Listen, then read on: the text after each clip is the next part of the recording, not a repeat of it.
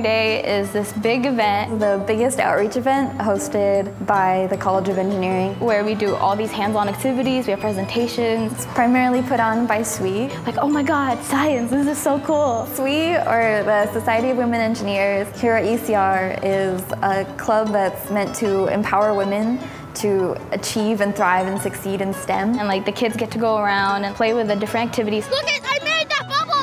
When kids are trying to build something and they finally make it work, they just light up and that joy is just like what brings us out here year after year. Spark their interest and like spark a passion in them. You see all the smiles on the kids' faces and those smiles are like matched or surpassed by all the volunteers out there helping. They get to know the kids, but the kids get to know the students as well. And it's like, wow, this is what you guys do as college students. I want to do this too. First workshop, which is Scratch, in 15 minutes at 10 o'clock. When I was a sophomore in high school, I actually came to Bourns Engineering Day to chaperone my little sister and I ended up participating in the event myself. And I was like, wow, this really is something I want to do for the rest of my life. Like I want to be an engineer, I want to help people, I want to be involved, like I want to give back to the community. Just to see people like themselves, people who are also like first time college bound students is something that's really, really powerful and impactful. I just knew UCR was going to be really special to me and like Bourns Engineering Day was really special to me because you just see the impact that it leaves with kids and like with myself.